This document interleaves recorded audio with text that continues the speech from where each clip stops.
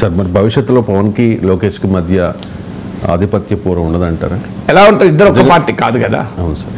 ఇద్దరు ఒకే పార్టీలో ఉంటే ఆధిపత్యం అంటే పవన్ కళ్యాణ్ చెప్పారు సార్ గతంలో కూడా రాబోయే ప్రభుత్వంలో జనసేనది బలమైన ముద్ర ఉంటుంది అని చెప్పి. బలమైన ముద్ర ఉండడం వేరు ఆధిపత్య పోరు ఉండడం వేరు. రెండు వేరు వేరు. బలమైన ముద్ర ఖచ్చితంగా ఉంటుంది. సరే. కూటమిలో బలమైన ముద్ర ఖచ్చితంగా ఉంటుంది. బలమైన అట్లా అట్లంటే పురంధేశ్వర్ కూడా లోకేష్కి పోటీ కావాలి కదా ఆధిపత్య పోరు. ఆ, సార్ మరి బీజేపీ కూడా ఉంది కదా ఇలా ఓన్లీ జనసేన లేదు కదా. అంటే ఇప్పుడు లోకేష్కు పురంధేశ్వర్ మీద ఆధిపత్య పోరు ఉంటుందా? ఉండదు కదా. ఇప్పుడు చంద్రులు ఆధిపత్య పోరు అనేది ఆ పార్టీలోనే ఉంటుంది బయట పార్టీ నుంచి ఉండదు. రెండు అప్పుడు తెలుగుదేశం పార్టీలో లోకేష్కు పోటీ ఇక్కడ ఉంటుంది. పోటీ లేదు పోరు లేదు. కావాలని జనం కొంతమంది సృష్టిస్తున్నటువంటి అగాధం. అంటే జనసేన టీడీపీల మధ్య అగాధాన్ని సృష్టించాలని కోరుకునే వాళ్ళు వేస్తున్నటువంటి ఒక నరే బిల్లు చేస్తున్న నరేటివ్. పవన్ కళ్యాణ్ లోకేష్కు పోటీ కాదు. పవన్ కళ్యాణ్ చంద్రబాబు నాయుడు కూడా పోటీ కాదు. ఎందుకంటే చంద్రబాబు నాయుడుకు ఆ తర్వాత స్థానం పవన్ కళ్యాణ్ ఎప్పుడు కూడా నాకు నేనే ముఖ్యమంత్రి అవుతాను ఎక్కడా అనలేదు.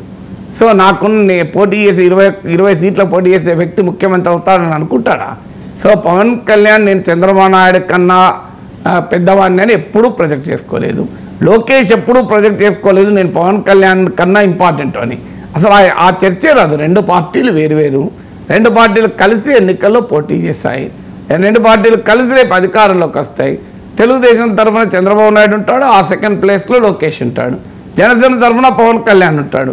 పోటీ జనసేన పవన్ కళ్యాణ్కు చంద్రబాబు నాయుడుకో పవన్ కళ్యాణ్కో లోకేష్కో నాదెల మనోహర్కో లోకేష్కో పురంధేశ్వర్ లోకేష్కో ఎందుకుంటుంది పోటీ? సో సంబంధం లేదు కదా రెండు వేరు వేరు పార్టీలు కదా. తెలుగుదేశం జనసేనలు కలిసి ఉంటాయి కనుక ఆ రెండు పార్టీలు భిన్నమైన పార్టీలు. అందువల్ల రాజ ఆధిపత్య పోరు అనేది కూటముల్లో ఉండదు. ఆధిపత్య పోరు పార్టీల్లో ఉంటుంది.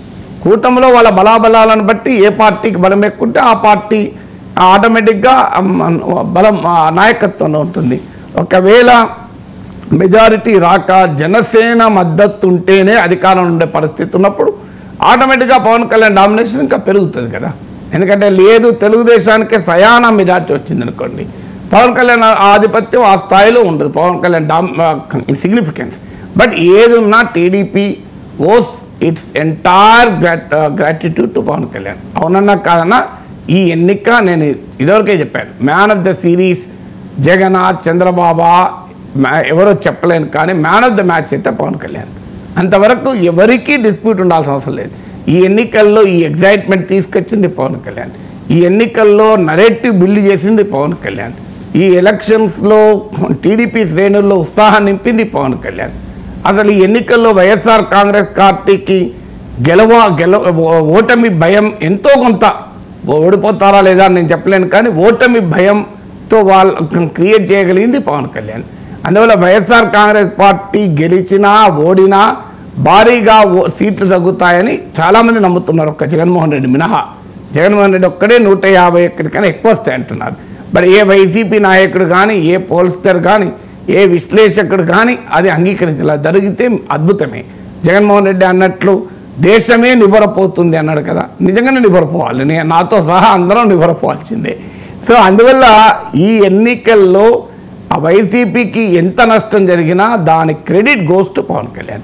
So అందువల్ల పవన్ కళ్యాణ్ ప్రామినెన్స్ను ఎవరూ ఆపలేరు. ఆపాలని ప్రయత్నిస్తే అది వారికే నష్టం. అందువల్ల రాబోయే ఐదు సంవత్సరాల పాటు డెఫినెట్గా Pavan Kalyan plays an important role. ప్రజలు కూడా అంగీకరించారు. ఎందుకంటే ఇది కళ్ళ ముందు కనబడినటువంటి వ్యవహారం కదా.